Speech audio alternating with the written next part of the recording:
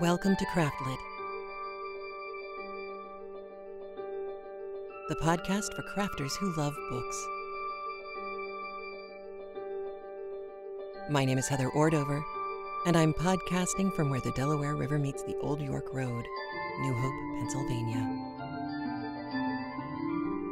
Episode 608 Bastille. This episode of Craftlit is brought to you by you. Thank you. Well, hello. How are you? I am well.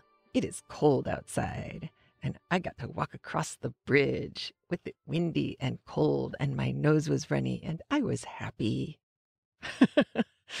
Those two things don't sound like they should go together, but they did, and it was lovely.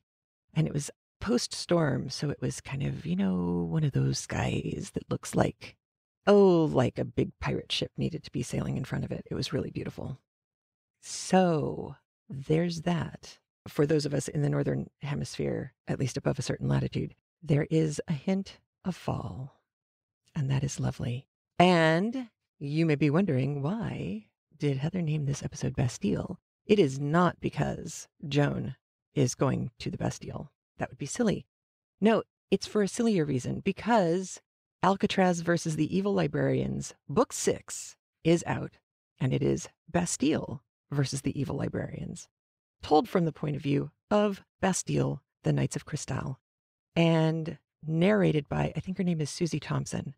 I don't know how they did it, but they found a female reader who can match Ramon de Ocampo, snarky note for snarky note. They are beautiful in their pairing of how they read these very funny Brandon Sanderson books. So I know many of us have read them, books one through five. Now, book six is out in audio, and I'm happy to be the one bearing such joyful news because laughs are good, I think, and they are very silly, but in a really smart way, kind of the same way that Anne of Green Gables is a book for smart, bookish girls. These are books for smart, bookish people. You just have to be willing to laugh at some absurd things as well. Anyway, hard sell over. That's pretty much it. It's been that and getting ready for Ireland and trying to learn some German so that I'm not completely clueless when I go visit my sister with my mom. My mom has been learning German for the last year, so I know I can ride on her coattails as well, but at least I will be able to understand a little bit. So Duolingo and I have been frolicking with each other quite a bit lately. I have managed to deply quite a bit of the silk. I don't know if I will have deplied enough to be able to make a pair of socks yet. I think I'm going to have to deply a little bit more before I can do that. But either way, Candy was on the call with us last night when I managed to complete one of the total deplyings, and that was a, a happy moment. So I got to deply a little bit last night, and I felt I felt like I'd achieved something. I don't know what, but but it definitely felt like an achievement after all that time. So, Joan, our second Joan chapter of three today is quite long, comparatively speaking, compared to other chapters we've had. So I wanted to get to it. But there is a word that is going to be used over and over and over and over and over and over today. And that word is abjure. A B J U R E. It is not a word we use a lot anymore, but it is a word that could be used a lot these days. It is to renounce, to retract something, especially in kind of a formal situation or a very solemn situation, to recant, to renounce under oath, to forswear. It's a serious word and it is important, I think, that the word oath is included in there to give up or to renounce something under oath. Because along with the solemnity, there's a closed door vibe to this word. Like once you've done it, you can't do give backs. It's not something you can really go back on. Or at least it's not something that you should go back on or feel easy about going back on. It's hard. It should be hard. I think that's everything I need to say about that word. And actually, I think that is the last thing I need to say before we dive in. So here we go with Book Three, chapters 19 through 21 of Personal Recollections of Joan of Arc by Mark Twain, read for us by John Greenman. Here we go.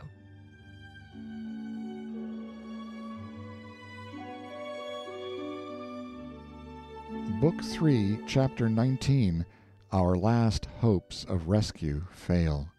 Joan had been adjudged guilty of heresy, sorcery, and all the other terrible crimes set forth in the Twelve Articles, and her life was in Cauchon's hands at last.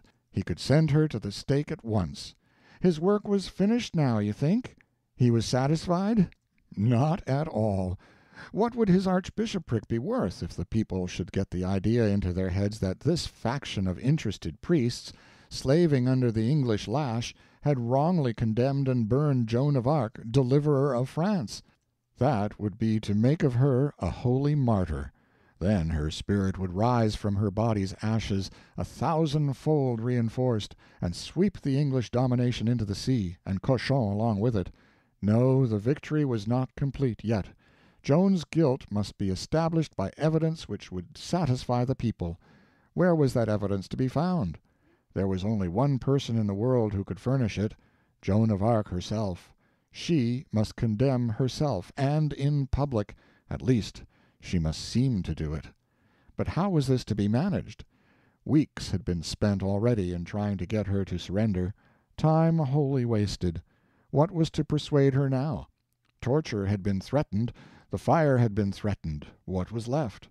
Illness, deadly fatigue, and the sight of the fire, the presence of the fire that was left. Now that was a shrewd thought. She was but a girl, after all, and, under illness and exhaustion, subject to a girl's weaknesses. Yes, it was shrewdly thought.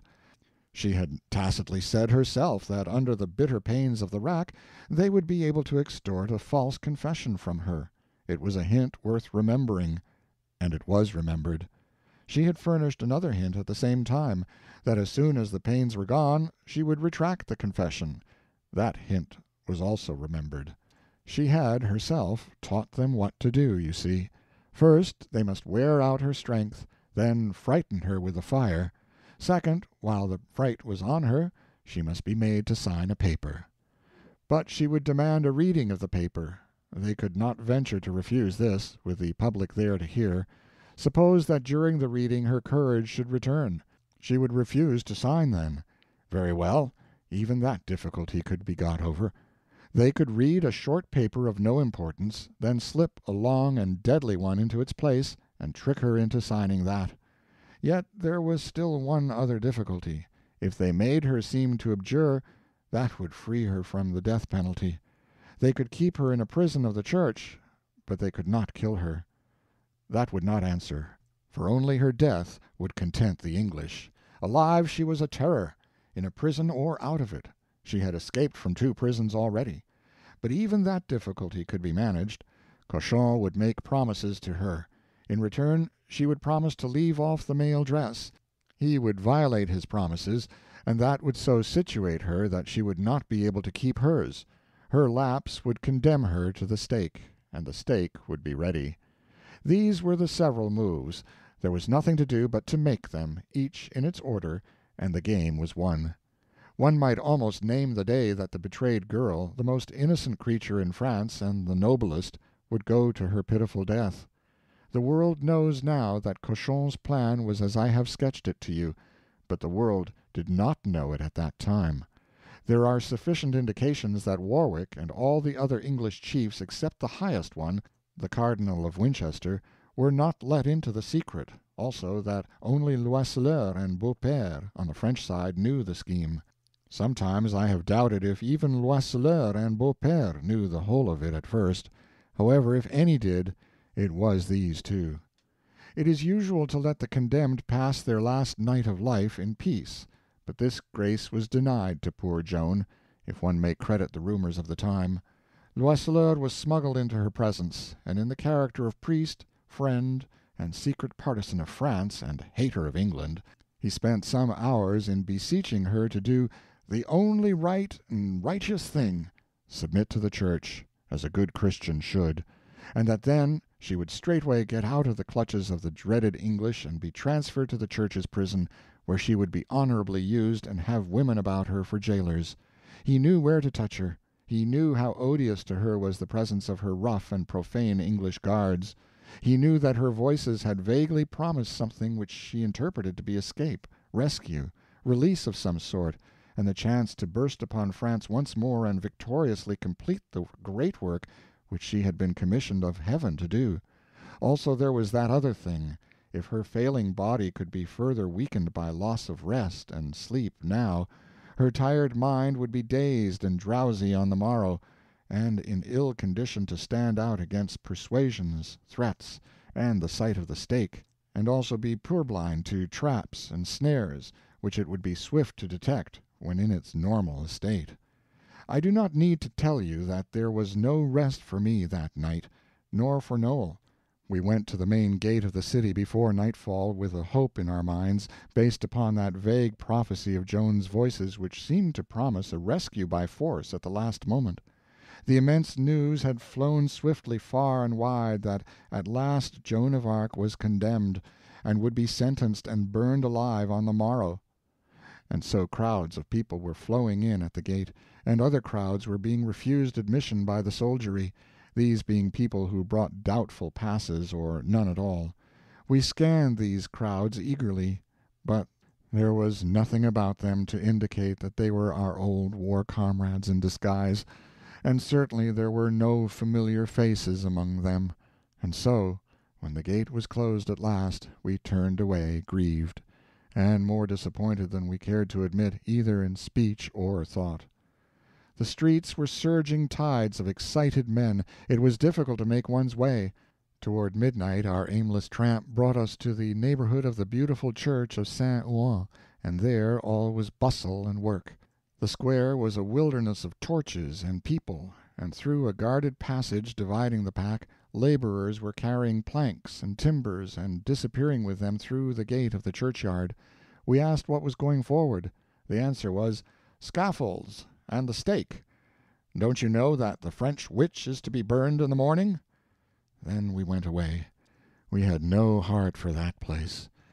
At dawn we were at the city gate again, this time with a hope which our wearied bodies and fevered minds magnified into a large probability. We had heard a report that the Abbot of Jumieges, with all his monks, was coming to witness the burning.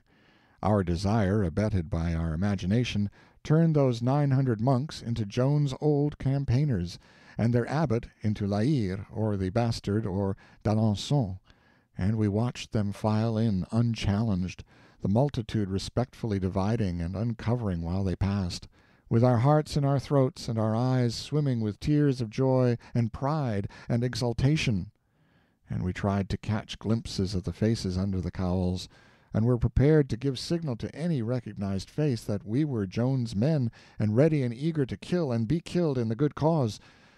How foolish we were! But we were young, you know, and youth hopeth all things, believeth all things. End of chapter 19 Book 3, Chapter 20 The Betrayal In the morning I was at my official post. It was on a platform raised the height of a man, in the churchyard, under the eaves of St. Ouen. On this same platform was a crowd of priests and important citizens, and several lawyers. Abreast it, with a small space between, was another and larger platform, handsomely canopied against sun and rain, and richly carpeted; also it was furnished with comfortable chairs, and with two which were more sumptuous than the others, and raised above the general level. One of these two was occupied by a prince of the royal blood of England, his Eminence the Cardinal of Winchester; the other by Cauchon, Bishop of Beauvais. In the rest of the chairs sat three bishops, the vice inquisitor, eight abbots, and the sixty two friars and lawyers who had sat as Joan's judges in her late trials. Twenty steps in front of the platforms was another, a table topped pyramid of stone built up in retreating courses, thus forming steps. Out of this rose that grisly thing, the stake. About the stake bundles of fagots and firewood were piled. On the ground at the base of the pyramid stood three crimson figures the executioner and his assistants. At their feet lay what had been a goodly heap of brands, was now a smokeless nest of ruddy coals. A foot or two from this was a supplemental supply of wood and fagots compacted into a pile shoulder high and containing as much as six pack horse loads. Think of that! We seem so delicately made, so destructible, so insubstantial, yet it is easier to reduce a granite statue to ashes than it is to do that with a man's body. The sight of the stake sent physical pains tingling down the nerves of my body, and yet, turn as I would, my eyes would keep coming back to it, such fascination has the gruesome and the terrible for us. The space occupied by the platforms and the stake was kept open by a wall of English soldiery, standing elbow to elbow, erect and stalwart figures, fine and sightly in their polished steel, while from behind them on every hand stretched far away a level plain of human heads, and there was no window and no housetop within our view, howsoever distant, but was black with patches and masses of people. But there was no noise, no stir. It was as if the world was dead. The impressiveness of this silence and solemnity was deepened by a leaden twilight, for the sky was hidden by a pall of low hanging storm clouds, and above the remote horizon faint winkings of heat lightning played, and now and then one caught the dull mutterings and complainings of distant thunder.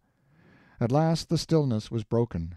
From beyond the square rose an indistinct sound, but familiar court crisp phrases of command. Next I saw the plain of heads dividing, and the steady swing of a marching host was glimpsed between. My heart leapt for a moment. Was it La Hire and his hellions? No, that was not their gait. No, it was the prisoner and her escort. It was Joan of Arc under guard that was coming. My spirits sank as low as they had been before. Weak as she was, they made her walk. They would increase her weakness all they could. The distance was not great, it was but a few hundred yards, but short as it was it was a heavy tax upon one who had been lying chained in one spot for months, and whose feet had lost their powers from inaction.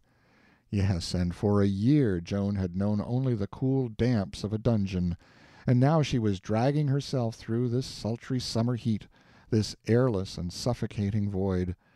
As she entered the gate, drooping with exhaustion, there was that creature Loiseleur at her side with his head bent to her ear. We knew afterward that he had been with her again this morning in the prison, wearying her with his persuasions and enticing her with false promises, and that he was now still at the same work at the gate, imploring her to yield everything that would be required of her, and assuring her that if she would do this, all would be well with her. She would be rid of the dreaded English and find safety in the powerful shelter and protection of the Church. A miserable man, a stony hearted man. The moment Joan was seated on the platform she closed her eyes and allowed her chin to fall, and so sat, with her hands nestling in her lap, indifferent to everything, caring for nothing but rest. And she was so white again, white as alabaster. How the faces of that packed mass of humanity lighted up with interest, and with what intensity all eyes gazed upon this fragile girl! And how natural it was, for these people realized that at last they were looking upon that person whom they had so long hungered to see, a person whose name and fame filled all Europe, and made all other names and all other renowns insignificant by comparisons. Joan of Arc, the wonder of the time, and destined to be the wonder of all times. And I could read as by print, in their marveling countenances, the words that were drifting through their minds. Can it be true, is it believable, that it is this little creature, this girl, this child with the good face, the sweet face, the beautiful face, the dear and bonny face, that has carried fortresses by storm, charged at the head of victorious armies, blown the might of England out of her path with a breath? and fought a long campaign, solitary and alone, against the massed brains and learning of France, and had won it if the fight had been fair. Evidently Cauchon had grown afraid of Manchon because of his pretty apparent leanings toward Joan, for another recorder was in the chief place here, which left my master and me nothing to do but sit idle and look on. Well, I supposed that everything had been done which could be thought of to tire Joan's body and mind, but it was a mistake one more device had been invented. This was to preach a long sermon to her in that oppressive heat. When the preacher began, she cast up one distressed and disappointed look, then dropped her head again. This preacher was Guillaume Erard, an oratorical celebrity. He got his text from the Twelve Lies. He emptied upon Joan all the calumnies in detail that had been bottled up in that mass of venom, and called her all the brutal names that the Twelve were labeled with, working himself into a whirlwind of fury as he went on. But his labors were wasted. She seemed lost in dreams. She made no sign. She did not seem to hear. At last he launched this apostrophe: "O France, how hast thou been abused! Thou hast always been the home of Christianity, but now Charles, who calls himself thy king and governor, indorses, like the heretic and schismatic that he is, the words and deeds of a worthless and infamous woman." Joan raised her head and her eyes began to burn and flash. The preacher turned to her: "It is to you, Joan, that I speak, and I tell you that your king is schismatic and a heretic."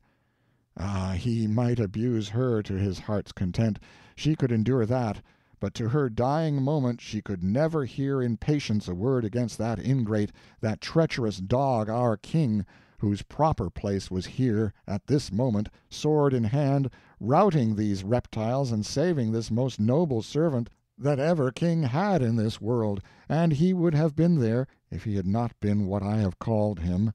Joan's loyal soul was outraged, and she turned upon the preacher and flung out a few words with a spirit which the crowd recognized as being in accordance with the Joan of Arc traditions.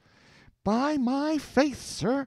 I make bold to say and swear, on pain of death, that he is the most noble Christian of all Christians, and the best lover of the faith and the Church." There was an explosion of applause from the crowd, which angered the preacher, for he had been aching long to hear an expression like this, and now that it was come at last, it had fallen to the wrong person. He had done all the work, the other had carried off all the spoil. He stamped his foot and shouted to the sheriff, "Make her shut up!" That made the crowd laugh. A mob has small respect for a grown man who has to call on a sheriff to protect him from a sick girl. Joan had damaged the preacher's cause more with one sentence than he had helped it with a hundred, so he was much put out, and had trouble to get a good start again. But he needn't have bothered. There was no occasion. It was mainly an English feeling mob. It had but obeyed a law of our nature, an irresistible law, to enjoy and applaud a spirited and promptly delivered retort, no matter who makes it. The mob was with the preacher. It had been beguiled for a moment, but only that. It would soon return. It was there to see this girl burnt, so that it got that satisfaction, without too much delay, it would be content. Presently the preacher formally summoned Joan to submit to the Church. He made the demand with confidence, for he had gotten the idea from Loiseleur and Beaupere that she was worn to the bone, exhausted, and would not be able to put forth any more resistance; and indeed, to look at her, it seemed that they must be right. Nevertheless, she made one more effort to hold her ground, and said, wearily: "As to that matter, I have answered my judges before. I have told them to report all that I have said and done to our Holy Father the Pope to whom and to God first I appeal."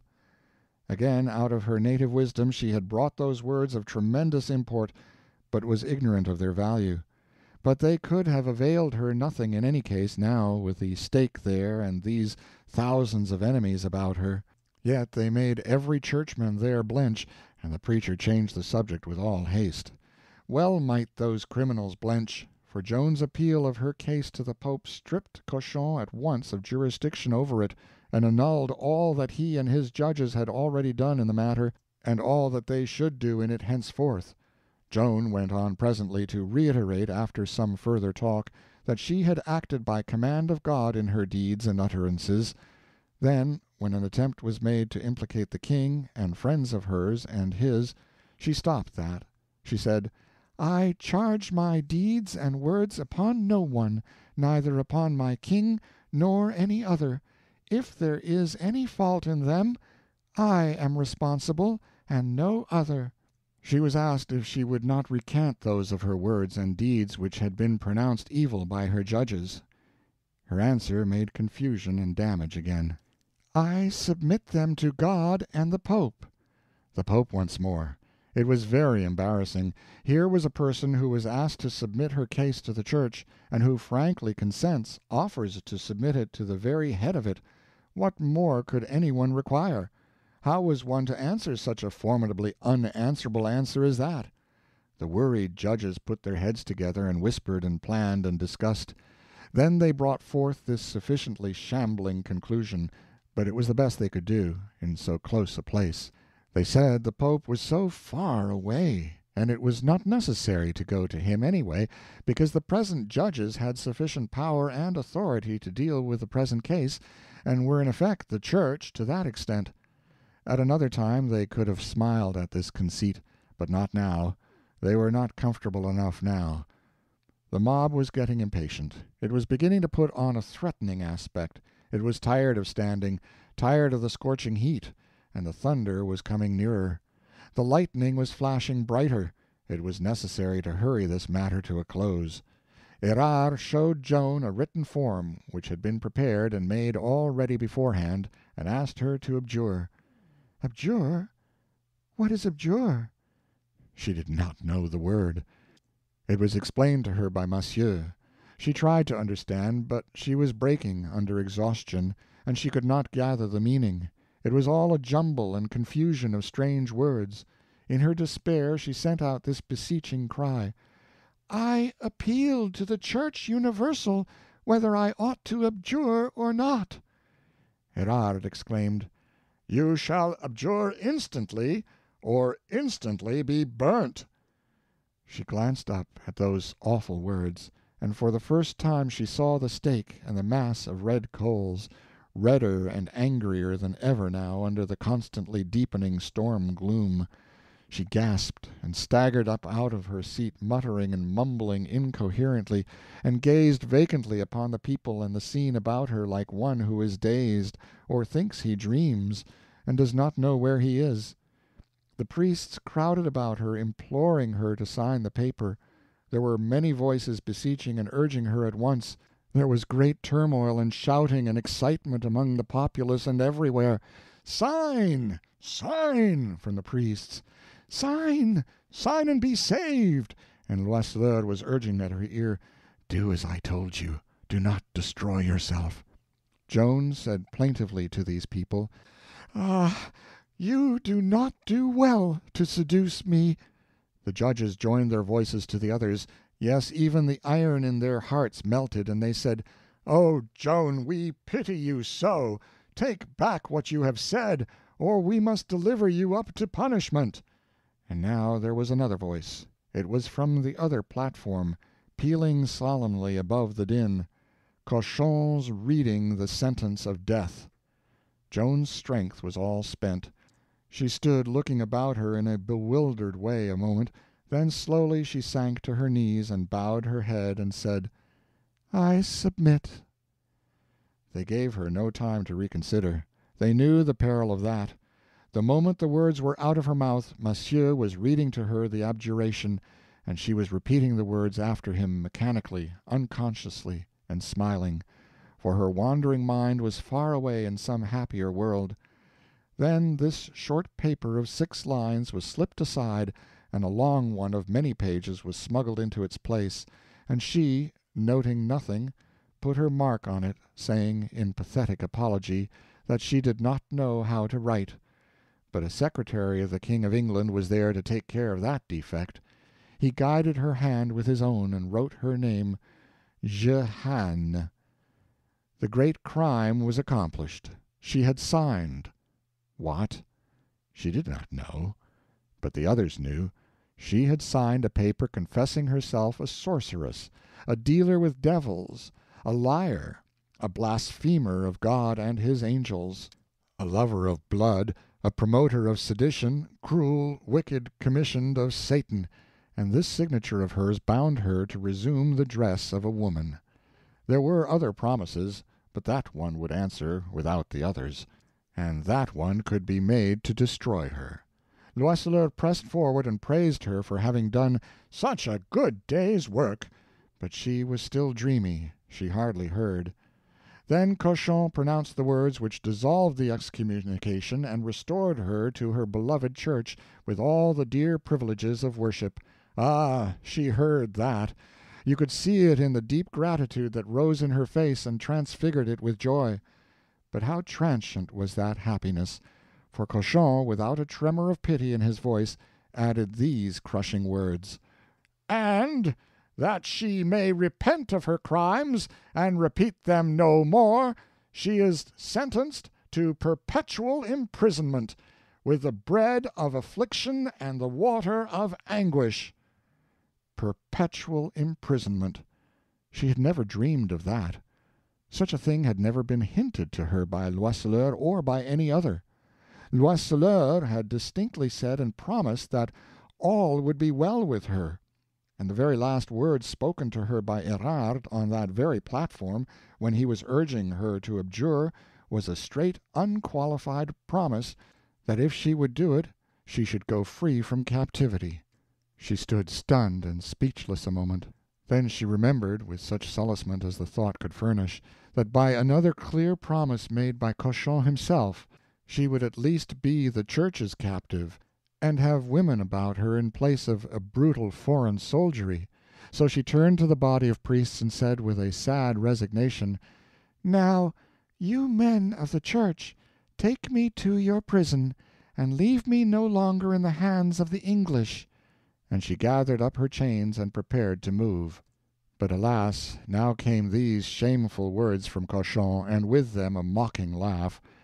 Take her to the prison whence she came." Poor abused girl! She stood dumb, smitten, paralyzed. It was pitiful to see. She had been beguiled, lied to, betrayed. She saw it all now. The rumbling of a drum broke upon the stillness, and for just one moment she thought of the glorious deliverance promised by her Voices. I read it in the rapture that lit her face. Then she saw what it was—her prison escort, and that light faded, never to revive again.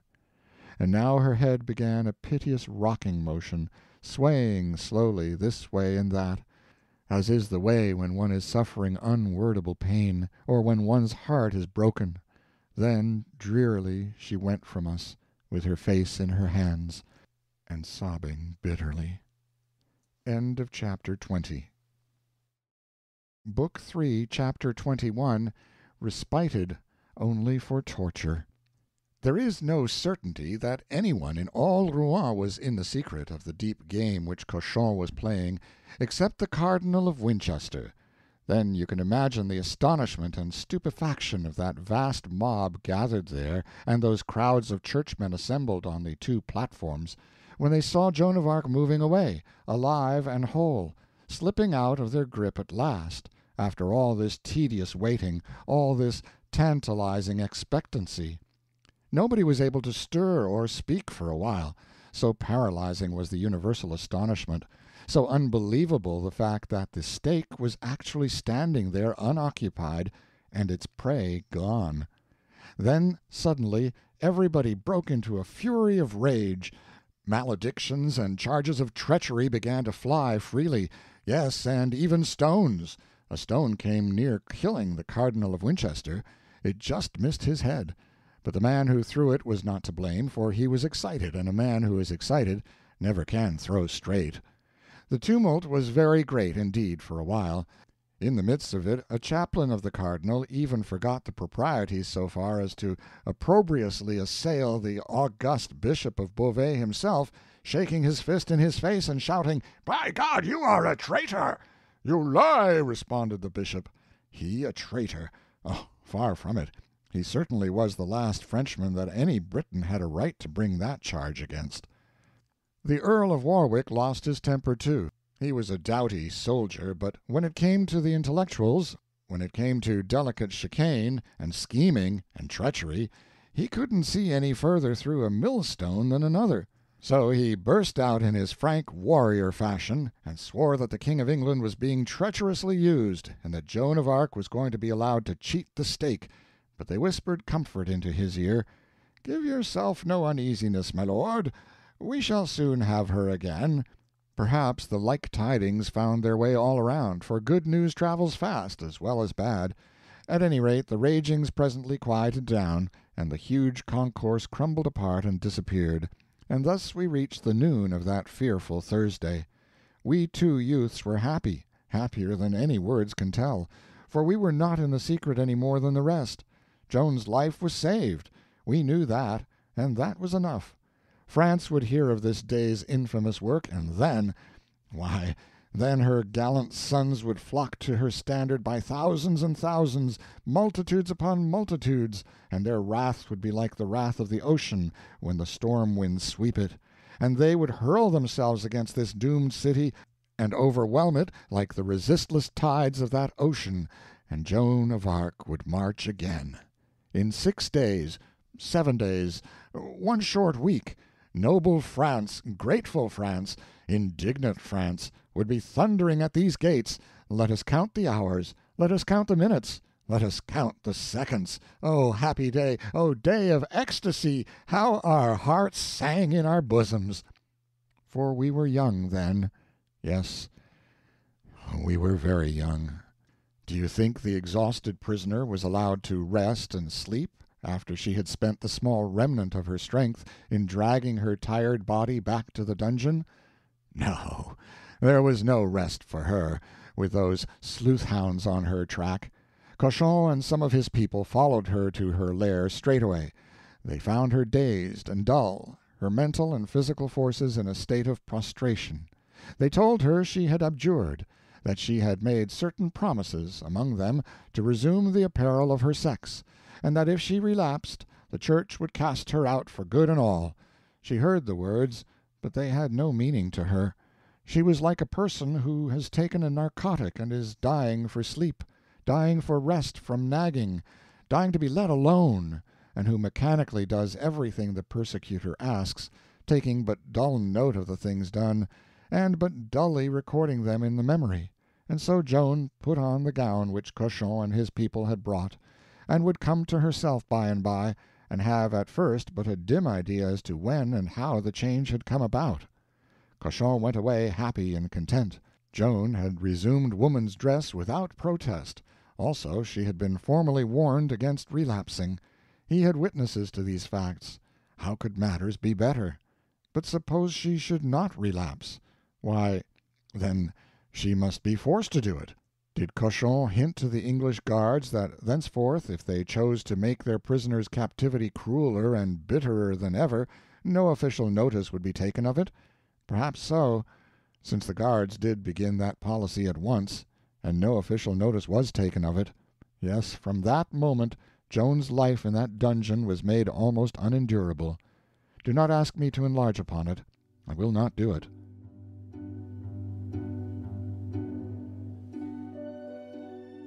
So I, I was sorry to end on chapter 21, but that was kind of really the best place in the grand scheme of things. But Twain hints at the end of 21 of bad behavior on the part of the English guards.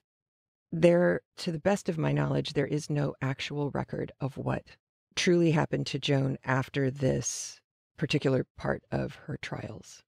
The conventional wisdom, I guess you could say, is that she was very likely assaulted by her guards at this point. Once she was out of her men's clothes and back into uh, women's clothes, that was likely what happened to her. Twain certainly seems to feel that to be true. This is also, uh, these three chapters are the first time that we really get to see where Cauchon has wound up in his machinations, having to set Joan up. The people in the town at this point were angry at the ecclesiastical group because they had wanted to see Joan burn. They wanted their show. They had their popcorn. They wanted a show. They were robbed of the chance for that entertainment. I'm putting all of that in ugly air quotes.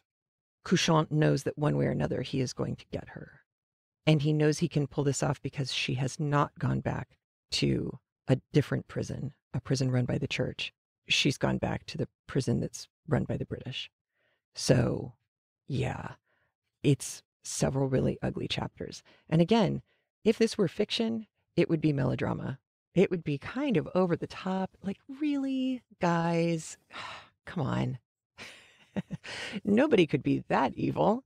And yet, yeah, huh? Because history. So that is very sad. We also, in these chapters, get the first, I think, really the first point where Twain's voice comes really strongly through Louis de Conte's character when talking about the Dauphin, the now king, and the fact that he has not shown up to say a word about Joan. And I will talk more about that next week, like why that's happening, what his reasoning may have been, because as far as I know, he never really spoke on the subject overtly. There are some real reasons why uh, he did not show up here. He, yeah, I'm going to talk about the rest of it next week. But yeah, this is where we're at. Joan has, without realizing it, signed a pretty major confession about all sorts of nasty things that she was supposed to have done, even though it was a dirty trick and everybody knew it. It didn't matter.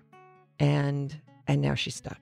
But this isn't the end yet. We have three more chapter chapters and then a conclusion for next week. So there is still more to come. All right, I'm going to go back to packing. You're going to go back to living your life, and I will talk to you again next week. Be well, go bivalent, take care of each other. I'll talk to you soon. Take care. Bye. If you like what you hear on Craftlit, please review us on iTunes, like us on Facebook, join in the fun in our Facebook group, which is Craftlit Annotated Audiobooks. Always the nicest group of people you're going to find on Facebook, and the place where you can come to and say, Nobody else was going to understand this, but I knew you all would. And of course, thank you for your support of Craftlit. And remember, if your hands are too busy to pick up a book, at least you can turn one on.